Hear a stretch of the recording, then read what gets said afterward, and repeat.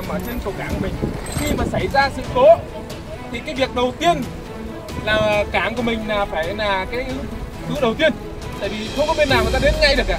Tại vì công anh em công nhân rồi các uh, an toàn là cảng người ta là, là, là, là, người phát hiện đầu tiên và phải xử lý được ngay cái cái cái cái đầu, đầu tiên. Để cơ quan các anh là nên là khống chế. Cái là, là khống chế thôi nói là khi mà xảy ra sự cố thì là là, là cái phao này là, là, là, là không chế nó làm để dầu nó không lan ra. Ra thì nó không lan quá nhiều ra ngoài thôi chứ còn bảo là nó không có giọt nào hay là nó nó vẫn thất thoát nhưng mà cái tỷ lệ ra nó nó ít nó, nó, nó bị chặn lại. Thì ờ, đơn giản là cái phao này thì nó thiết kế là 20 mét một một một một đường.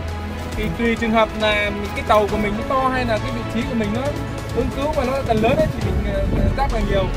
Thì uh, sau đây thì uh, giáp thì nó sẽ đơn giản ai cũng giáp được. Nhưng mà ừ, kế hoạch thì em vẫn phải về đây đây đây em làm làm làm, làm.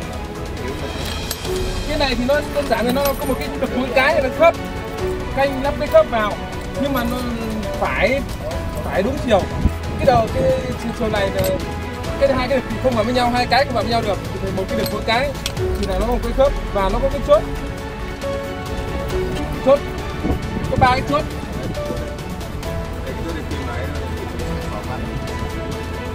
Chốt và các cái ma lý nếu mà trong trường hợp mà uh, thủy chiều mà nó, nó, nó mạnh ấy thì ta phải lắp cả cái cái ma lý này vào cơ để để nó kết nối lại được uh, với nhau. Thì uh, trong trường hợp mà, mà phao ở cảng mình mà bên uh, các bên mà ông uh, hỗ trợ ứng cứu là chưa tới thì anh em ở cảng thì là nhớ kéo phao ra và kết nối. Đấy là những cái công tác chuẩn bị cái thứ hai nữa là cái về phần phần phần phần an toàn. Khi mà các anh kéo phao kéo phao trường hợp ví dụ kéo như thế này mà cái đầu kia người ta kéo đi thì không được kéo như thế này. Kéo trường hợp ví dụ là đưa cái đầu kia mà đưa xuống tàu tàu kéo mạnh quá thì kéo mình xuống xuống sông. À, lúc nào mình cũng phải đứng ở bên bên bên bên bên, bên, bên trong này.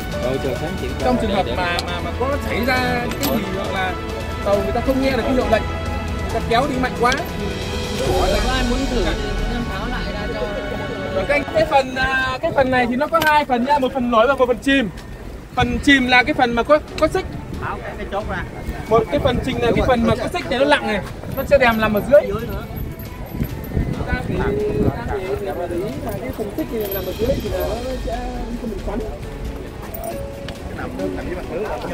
Dạ vâng, cái phần xích là lặng này, nó nằm ở dưới. Còn cái phần à, phao thì là nổi là trên. ok. Đó, hôm nãy có quay kìa. Anh em ta làm nó thực ta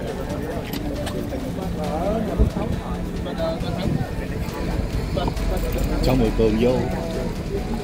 Vô vô, vô. Má nó chơi vô má. Vô vô cái nhà. Ở dạ dạ. Nó bằng hai Cái gì? Còn cái. Hai người, hai người, hai người. Xong xong một phần này thì là em giới thiệu tiếp về cái, ờ, cái ờ, ờ bên thu- thu gom.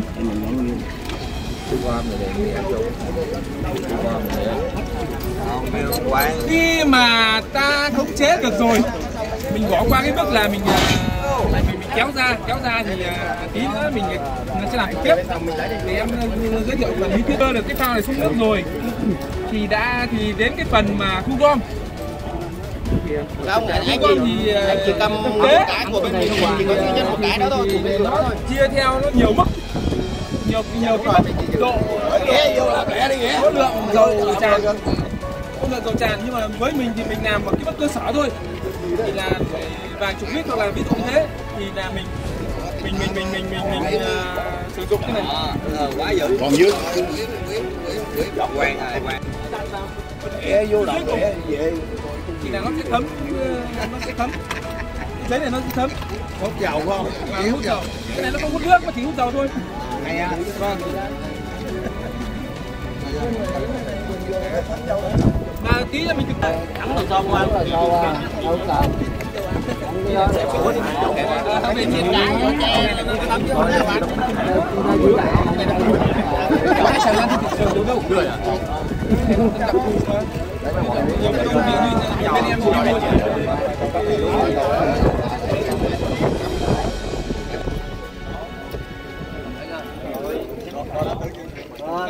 thì rồi. Rồi biết biết. Cái này phải là bán thích đó, để thích lên vậy. Không phải hít vô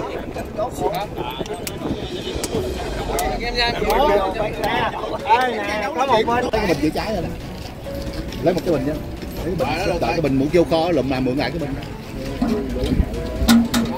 Đây ví dụ là nữa Vô kho là mỗi cái bên kia, cái bình nó lại cái bình nó ra. Thì thực ra thì như thế này thì nó còn một ít à nó trên mặt mặt trên mặt thôi. Thì cái độ mà. hút thì nó nó, nó không rõ rệt nhưng mà anh để đây một lúc là nó cũng nó cũng hút, hút hết à. Là, là thấm rồi nhưng mà cái này là ví dụ dầu mà đặc như là cả một xô này em nhấm nhúng vào là nó hút hết. Cả lít cả lít dầu vào cái, cái này luôn. Đây là cái mặt này gần như là không có. Ít hút điện thoại luôn cái gì này nó không không có hút nước. Để giúp cha mượn cái bình chữa cháy. Không hút nước hút rồi. Đấy. Anh thấy nó, nó, nó, cái, những cái lỗ này anh thấy nó bắt đầu nó hút được ờ, ờ, ấy vào ấy.